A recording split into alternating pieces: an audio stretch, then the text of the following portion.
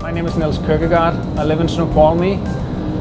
Uh, the reason I ride the streetcar is it's really convenient for me because my wife and I can commute together. She works at Fred Hutch. I work at Westlake Center, so it's almost built for me. I, I like it because it moves smoothly.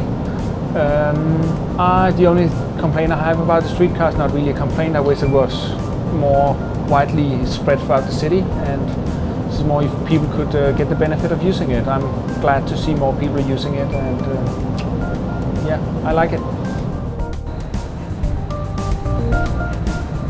So my name's Ibrahim. Um, I work at Amazon. I live in South Lake Union. Um, I ride the trolley because it's convenient. Um, it comes by pretty regularly. I just hop on. Uh, it stops exactly where I need it to stop. So I use it pretty much daily.